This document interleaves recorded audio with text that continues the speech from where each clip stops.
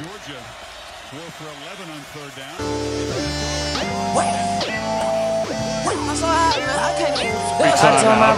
Trey Williams, big third down, floated to the near side, and that developed way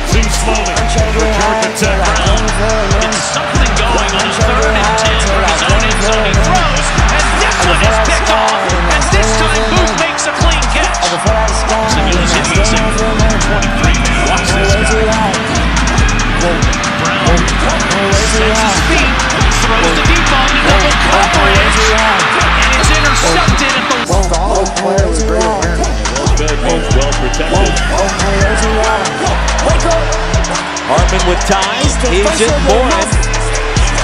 And was it intercepted? Andrew Booth comes away with it. Chase has not won against the top 10 team under Doran. On the edge, complete. But Carter made a nice move, but his brought Davis today. I don't like those. I play the Daytona and I First and 10 for Boston College, thinking monumental upset. To Whitehouse to the left. There's some pressure coming. Throws it up. And it's complete to Flowers. But going with Chase and going to Davis again. Underthrown. And this time it's picked off. A one-handed interception.